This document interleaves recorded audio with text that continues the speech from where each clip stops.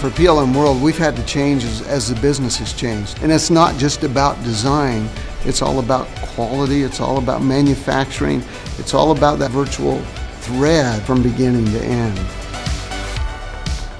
This event is targeted to the, the PLM industry and PLM being product lifecycle management. And so it's all about companies using software and using technology to develop their product.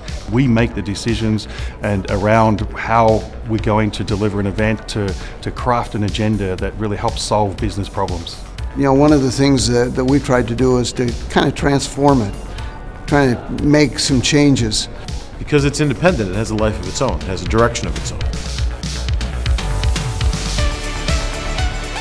User experience, de deployment excellence, and business process improvement.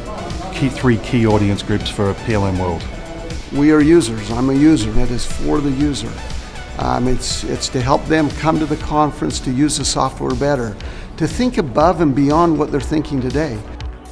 Although we're an independent user community, we obviously have a strong partnership with Siemens. And so it's important for us to make sure that they're there, that, that they're the ones who develop the software. They play a big role in, in coming to our event and making presentations about the, their strategic direction. But I, I think it's all about making connections. We'll get contacts throughout this week and then we'll follow up with them you know, to ask further questions, to have more dialogue.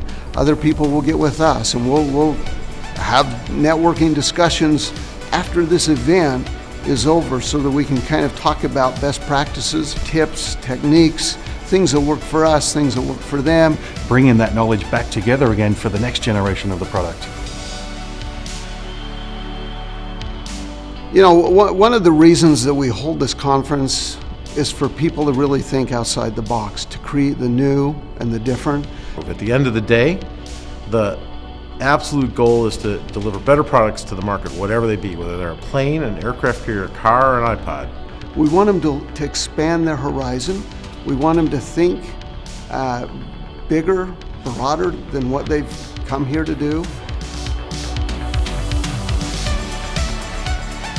It's good to be lectured to, but it's much better to be part of the discussion, to be part of the learning environment, um, to, to ask questions, to hear responses, to engage ourselves in a, an actual learning experience. We think in our open culture at Siemens that's healthy.